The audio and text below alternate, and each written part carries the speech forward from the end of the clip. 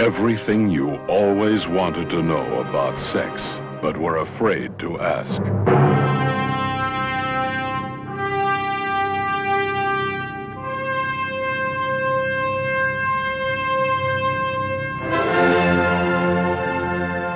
If you want to know how this man made a movie out of this book, Brain room. Come in, motor function 12. Scratch the uh, left leg. The leg has been scratched. Brain to stomach, brain to stomach. Stomach to brain. Over. Food coming down. What kind?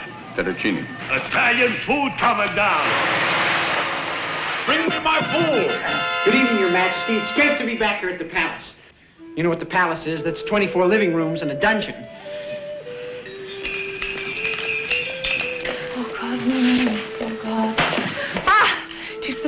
The chest to be built that the jealous king hath fastened on me that no man but him shallst have the goods of the body. It's a bad break for all of us here at the palace. My God! She's my husband! What seems to be the trouble? I am in love with a sheep.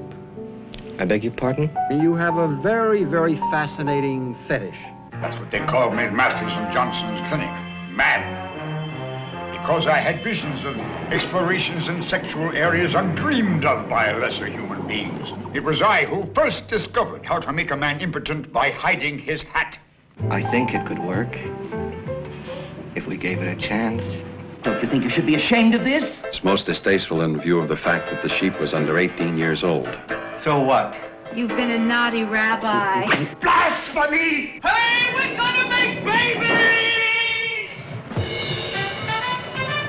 If you want to know how Woody Allen made a movie out of this book, you'll have to see the movie.